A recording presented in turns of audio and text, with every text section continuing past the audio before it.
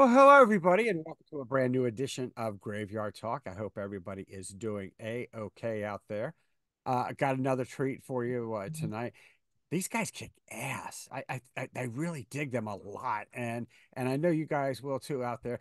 This is a great name for a band too. Another demon out of the great great New York City area, which is one of my all time favorite favorite towns, and all. Frank, Thanks for joining me, brother. I appreciate it. Thank you. Thanks for having me, Robert. How are you? I'm doing well. How are you? You doing okay? Yeah, yeah, Good. That's what. I like Happy to be here. There you go. Glad to have you with me. So, uh, let, let's Mm. just just jump, jump right in. Uh, let, let's go. Uh, another demon. Why that name for the band? So, um, we, uh, I, when I first started jamming during uh, COVID with an old bandmate of mine, we were uh, going over names, and one of our old songs was called Inner Demon, and we were we had a little debate, and he's like, "Yeah, it's kind of cliche to call it that," Right. you know. Uh, so we thought another demon was was kind of cool, Mhm. and uh, thinking back to CD store stuff. maybe be in the first row you get into when you get into the metal section. So, you know, it's pretty Nice. nice right there. Nice. I like that. Um, I, I want to ask uh, the origin of the band. How far back do you guys go? Uh, we started um we started in the summer of 2020. Uh, me and me and my old bandmate, who's also named Frank, hmm um, who uh who bowed out of the band for health issues. Oh, Uh, he was the that. drummer. hmm Yeah. Um, but uh, we started in 2020, kind of did it a little loosey goosey. hmm Um, I was in uh, another band as well. I was in a power metal band. Uh, Cool. and uh, we finally got everything together and clicked earlier uh, this, uh, well, in 2023. Mhm. Um, and uh, we got our album together and uh, did a release in September 2023. And this is the lineup we have. And we're very happy. I like it. Uh, just just real quick, because we don't want to forget anybody. Uh, you want to introduce the rest of the band who you're playing with now? Sure. So um, the the band is myself, hmm um, Max Capshaw, who's uh, he's a multi instrumentalist. He uh, played as the touring drummer for Sick of It All. He's a founding member of the band H2O. Uh, he also played with um, uh, Murphy's Law as well. He does session jazz drums and this and that. But in our band, Mhm. Uh, he's the lyricist, uh, the bass player, and the vocalist, and uh, he kicks ass.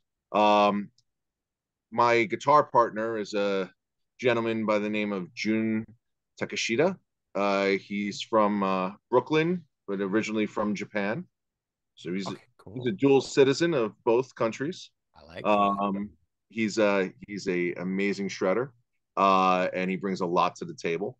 And um, my old bandmate uh, Jorge Hernandez Rodriguez from Lost Legacy is our drummer, Mhm. and uh, he's the he's the young engine of the band with the uh, with those feet, and I love him. I love him. Yeah, it, yeah, it, it's amazing. I, I was always blown away by people that could drum like that when I I was listening to your Mm. songs. I was like, good. My legs would just fly off. They would just detach and you know they go two different directions, and that that would be it. So, uh, yeah, uh, we'll we'll get into the band a little bit more. But you and I were talking about a subject that I, I really wanted to dig into, and that is, do people still buy physical CDs? Is there has that changed? Has that You boat know, sailed? so so the cool thing is at least in um in the tri-state area that we've basically played in in New York hmm uh for our first 10 shows hmm um we sold a lot of CDs so Mm, the answer is yes. Going into this I thought because I listened to all my music on this thing Right. uh hmm you know CDs were were gone. You know you see people hodgepodging the covers to like walls and stuff and bars and stuff. So Sure. um but max our singer was uh pretty staunch about we need to have a physical cd and he was absolutely right. That's cool. Yeah, that I I like that. I just, you know, I had to ask you that question because, like I said, we were talking about it before. But you know, uh, I, I'll say it. I'm old. Okay, I'm far, far too old for this planet. But anyway, I, I I've seen the change, you know, and I I, I just uh, I, I think it could start being the end of physical media. Uh, I I heard uh, Best Buy isn't going to sell DVDs, CDs, and all that stuff anymore, and I was like, wow, I, I never thought I'd see the day where that happened, uh, you know. But yeah, I'm glad you guys were able to you know sell something, you know, sell sell your uh, your uh, physical CDs. That's great. That's great. Yeah, and we uh, we also we we recorded a uh, a vinyl too.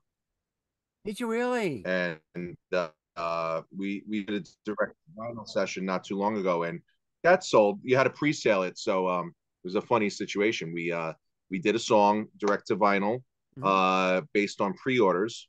So we had to end up playing the song uh almost 30 times because it was you play it, uh-huh. goes onto the lathe, and cut this uh, the the vinyl. Right. You have to do it all over again to oh. save. So it's got that old that old school feel from like the 50s. Nice. You know, so it's you're either doing one thing or you're doing the other, you know? oh, that brings back memories of that. Good gravy. Wow. The 50s live on. It's a yeah. great, great thing. Um, I wanted to ask live you, on with now, now metal. sure. Uh, I I want to ask you because uh, you know, uh, people say this is a dumb question. I really don't think it is because I like hearing this, but uh, I, I would love to know your influences. Who, who guided you into this direction of music? So for me personally, um, I grew up in a very odd situation, and my uh, my parents kind of had like a heavy metal Partridge Family thing going on. So uh, okay. I I experienced an '80s hair metal band as a kid growing up. Uh-huh. Um, their music was a little uh, light for me, I'd okay. say. Okay. Um, I remember as a kid, I saw the Judas Priest Defenders of the Faith album cover, mm-hmm. and I thought that was the coolest thing in the world. Mm-hmm. And um, then when I was about ten, I discovered Mercyful Fate, and nice. mm-hmm. I was corrupted ever since then. So they say. But um, I'm I'm a I'm a thrash guy, so oh, okay. I I love yeah. thrash. I think it's the best medium of all kinds of metal. It brings the extreme, it brings the uh it brings the mainstream all together and shreds. Yeah. Do you, do you like the, the fact that it's it's not boring music? It's it's good blood pumping, get you know in your face music. Is that why you know? Is that what brings it uh, home for you? Yeah. Oh, it's, it's pumping music, but it has Testament, who at least now nowadays they're very polished and very, very clean and and uh, I would say a little bit more artsy than they used to be, even though they're heavy. Right. Then you have bands like like Exodus, which just come out and punch you right in the face right. with every song. You know? Right. So Which that's like. and that that's my favorite band cool. in the world, actually. Cool. Yeah. I like that. Yeah, you know, I'm, I'm the same as I've grown up, and I still listen to it. But I, the heavier, the better. Um, I, I love that music that you can put the headphones on, crank it up, and the outside world ceases to exist. You're just in that that zone, and that's why I like your guys' music because I mean, I just you know way on up there, and I was like, great, great. I can't hear anything other than your band. Perfect. That's good. Shut the rest of the world out, and and, and that's really really cool. Uh, I I wanted to talk about your record, if we could, about your EP. Um, sure. I I wanted to find out uh why. Uh, some I, I noticed that some had five songs, but on Bandcamp there's six. Is that a Bandcamp exclusive, or is it just something that happened? So you're making me question something. Hold on. Okay, yeah, come on, come on back whenever you feel like it. Join me. Hi, no, everybody. No. So uh, this is our this is our uh, our CD. Uh huh. And, and this one does have five on it. Okay. There were a couple of things that went on um, while we were recording, and, and honestly, Max, our singer, had a had another project that I guessed it on guitar for, mm-hmm. and um, it was recorded before we recorded this uh for a different thing and we play it that song's name is skull vessel um mm-hmm. and uh we said you know when we were putting it out it's already recorded why don't we just finish it up and put it out on this seat on this. So mm-hmm. we when we initially were planning the release, we had five songs, and then added that minute and a half beauty uh, on there. Nice. Uh, yeah, I was like, I, I, I had to ask because I'm like, is it five or six? I'm hoping it's six, and it did become six, so that's good. It's it's a good thing. Uh, let, us talk about the songs, if that's okay with you. I th- I thought we would, you know, analyze each one and and, and let everybody know uh, what to expect when the uh, the millions of them buy your CD. Uh, so you know, I want to make sure all all 10 million copies that you will sell uh, are, are good. So, uh, so let's. let's I, I, don't want to go double wood. oh, it, look, look! This time next year, you'll be getting awards left and right. All right, so there you go. I, I, that's my big prediction. So, all right, so just don't forget your mouth to the metal god's ears. all right, uh, the first song. Oh, oh by the album is is called uh, "As Above, So Below." Uh, is there some meaning behind that for that being the title? Uh, well, yeah. Uh, mm-hmm. I mean, our it, it has an underlining meaning as far as the uh, the tone and the lyrical content of the uh, of the album. Um, mm-hmm. Also, in our rehearsal space at the time, we did have a nice big banner that had that on it. So we oh. were staring at that phrase for the entire time. So it kind of kind of molded itself around itself to create this uh this iteration of our music. Nice. Yeah, because I, I know it's the sixth song. Uh, uh, you know, uh, you know, as above, so below. So, and I was like, okay, maybe it's in honor of the song, but I had to ask. It was like, okay, why this title? So, um, that you know, that's interesting. At least to me, it is. So it's all good. Uh, let, us go to the album. Then the first song's called uh, "Reduced to Ash." That's a heavy little dude, uh, mm-hmm. uh, ditty right there. It's like good gravy, nice. That's it right yeah, there. Like yeah, yeah. Uh, uh, uh, tell us about the song. Yeah, you know, I'll, I'll tell you what, real quick. Let me let me let me extend this a little bit if I could. When you're creating the the album, uh, are, uh, who's doing the music and who's doing the lyrics? So, um, for this particular album, mm-hmm. I wrote the music, um, and then our uh, our original drummer, uh, uh, our vocalist Max, and myself, um, all contributed to the lyrics, but the lyrics were mainly between Max and uh, the other drummer. Oh, okay, Frank. okay, yeah. yeah.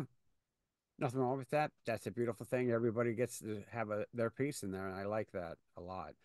Um, yeah, I, I yeah, found that a, a good mutual investment. Uh oh. Okay. Uh, Sorry. That's okay. the the last thing you just said, I want to make sure everybody heard because I uh, I'm sorry, you froze for a second there. So uh, what what was uh, what did you just say? Uh oh. Uh oh, we may have lost Frank. Uh oh. I said oh, it was, it's it's nice because it's a mutual investment. I'm right here. Okay. I'm right here. Okay, good. Yeah, yeah, we were we were having it freeze up on us, but uh, you know, I, I want everything you say okay. to be heard. So, so uh, yeah, that's good. Uh, yeah, I so let's you. You know, there we go. All right, so let's get back on on on track then. Trust me, that was normal for every show it happens. So you know, you just become one of the family. So good job right there, and it's it's not a bad thing. So you know, welcome aboard. Uh so, uh, Redu- reduced to ash. What's uh, what's that song about?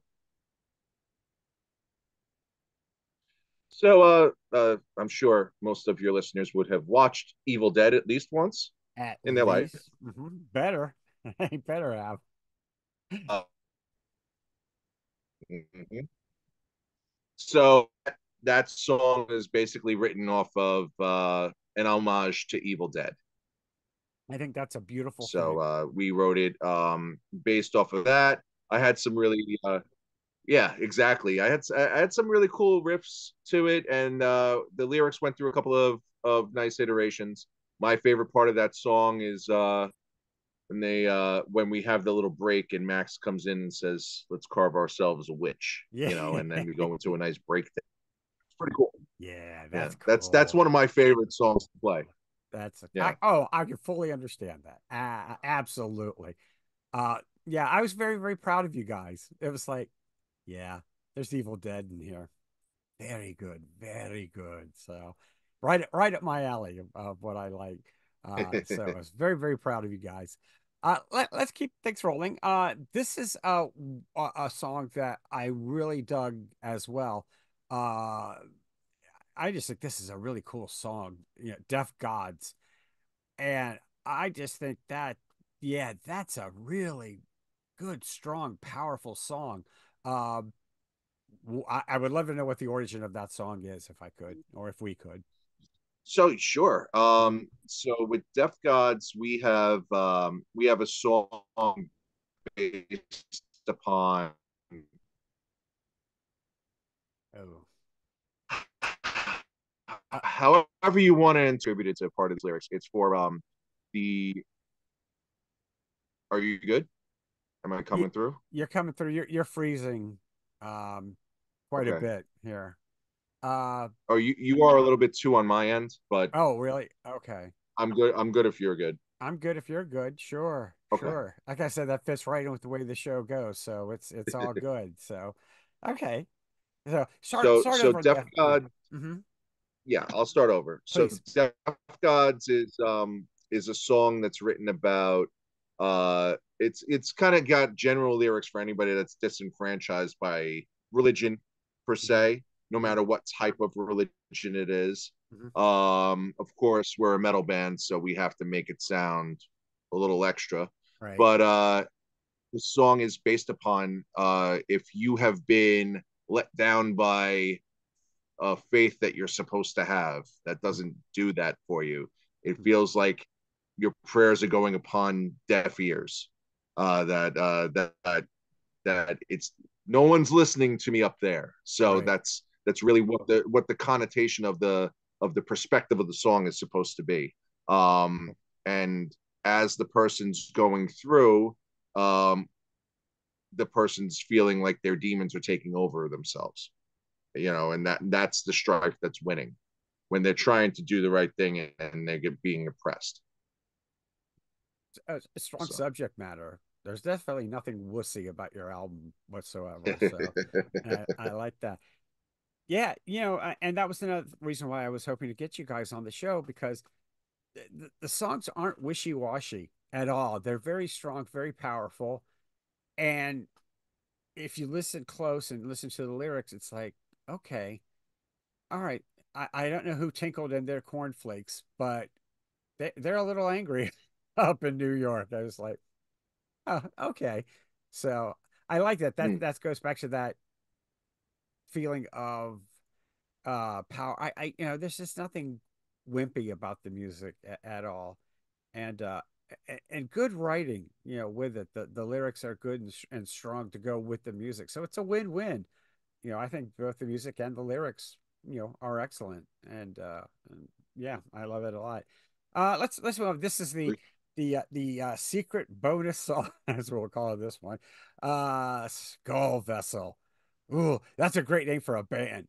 No one take it though. It's mine. Okay, there we go. I just had to throw that in. yeah, we are copyrighting it tomorrow. Yeah. Yeah. So, uh, yeah. Skull Vessel. Yes. Right. Is uh yeah, is about. It's basically, I, I would say, uh, if you've ever seen Eyes Wide Shut. Oh, you know, that that uh, I guess, yeah. I guess that's an old school movie now. I would say uh, so. Sure, sure. If you ever seen Eyes Wide Shut, you know you have that ritual sex clan. That's yeah. the first line in the song. Mm-hmm. Um, it's a it's a fun song. It's supposed to be kind of like, I guess, kind of go along the lines of that of that movie. Mm-hmm. You know, with mm-hmm. that kind of iteration of things. Uh, you know, the whole flesh carnal sacrifice theme that uh you know we all enjoy in a good metal song. There you go. So yeah. it's a fun song to play. It's not supposed to be meant to be taken seriously or anything like that, but uh, that's what it's based on. Good, good. And it brought us together. Oh, there we go. I, it, a, that's a wonderful thing right there. So I, I love the fact that we've gone from Evil Dead to Eyes Wide Shut. I have to admit, I, I, I kind of laughed at that inside while you were talking. I'm like, that's terrific.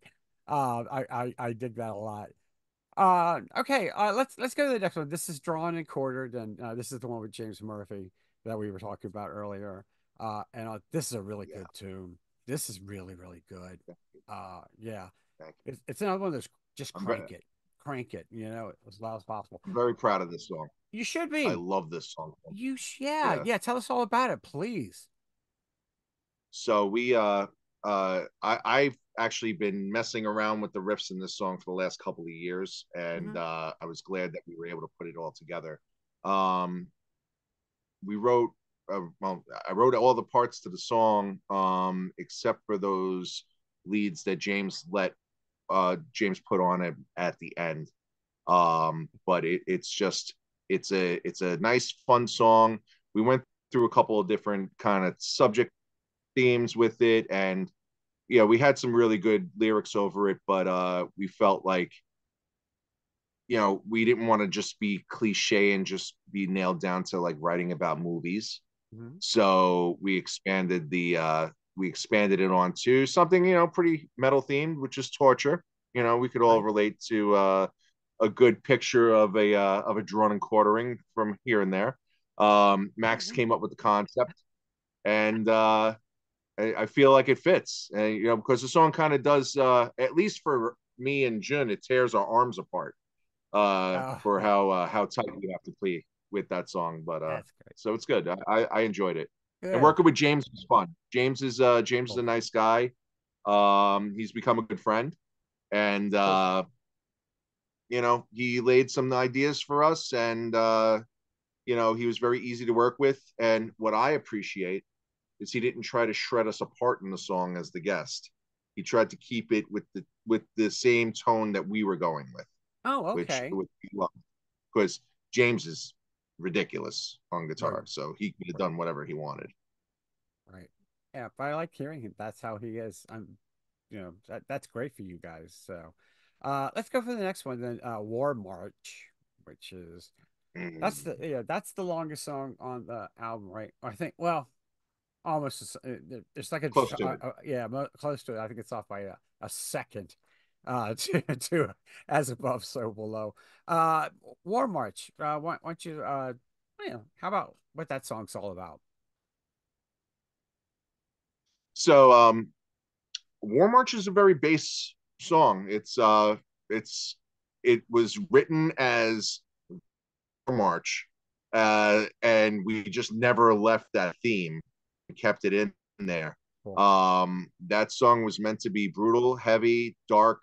Um you know, when we were when we were trying to flesh out our sound, you know, I love thrash, but I I am I'm straight up I love extreme metal. I love death metal. I love black metal. So do all my bandmates. Mhm. Um, Max is from a little bit of a different world, so we blended a little bit more together with this song. But uh, we wanted this to be an evil song. We wanted it to be an evil theme that mosh pits were gonna open up and do their thing in, and it, it has proven to do so. So Excellent. very happy about that. Excellent. Nothing wrong with a good mosh pit. I've gotten, I, I've been in quite quite a few of them. I'm not anymore now, but when I was fun, Yeah. yeah, I, I was good then. So, uh, well, let's get to uh the second most important thing, uh, other than the record itself. Where can we find your music online? Oh, we are everywhere. Uh, Okay, so we're good. on Spotify. Mhm. Uh, we're on iTunes, Apple Music, um, apps I don't even know the name of.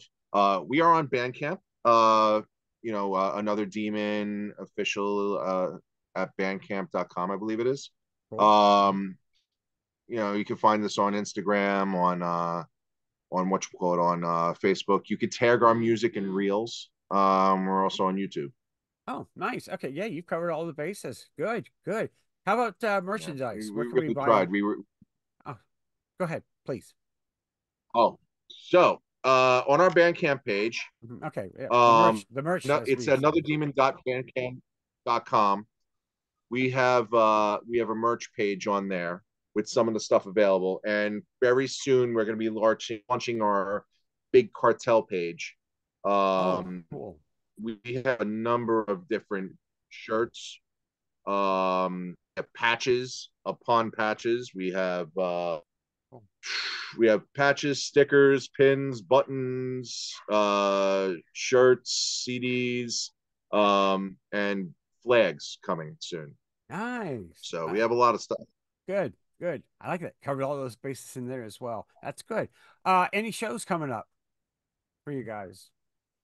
So uh, we just kind of finished our inaugural run uh, at the Shadow Cult Metal Fest in New York City, mm-hmm. um, which we were privileged to uh, not necessarily headline, but we did play last.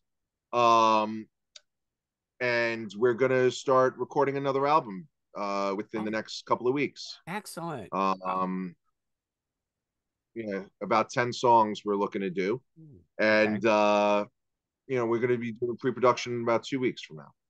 Nice. That's good to hear. I, I, I like hearing that. So that makes me very, very happy. I don't want you guys to, you know, change anything or whatnot. And and I hope you you stay uh, on the path that you're on right now because just awesome music and and I can't wait to hear uh, the new album. So I'll be I'll be counting the days down.